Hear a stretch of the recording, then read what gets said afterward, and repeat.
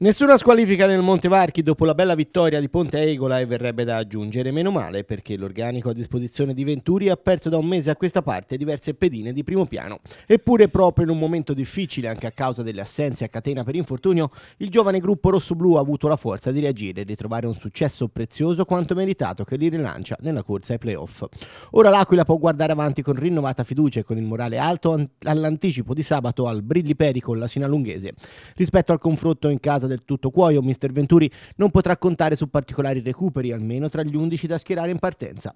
Le uniche novità potrebbero arrivare in panchina con il ritorno di Salvadori e del 2001 Matucci.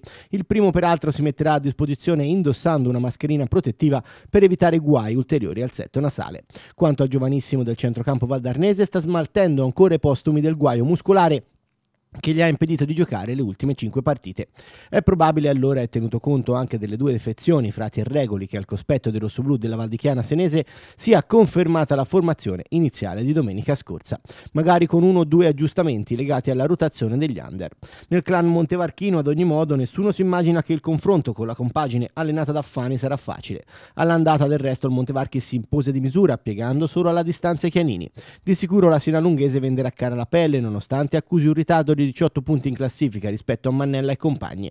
E per i padroni di casa le insidie non mancheranno, sebbene gli ospiti lamentino nella trasferta del comunale di Via Gramsci i forfè obbligati per squalifica di Calveri e Vasseur. Di contro tornerà dopo il turno di stop disciplinare Chiasserini L'ex principale del confronto, il mediano, fu uno dei protagonisti della promozione in Serie D De Montevarchini due stagioni fa.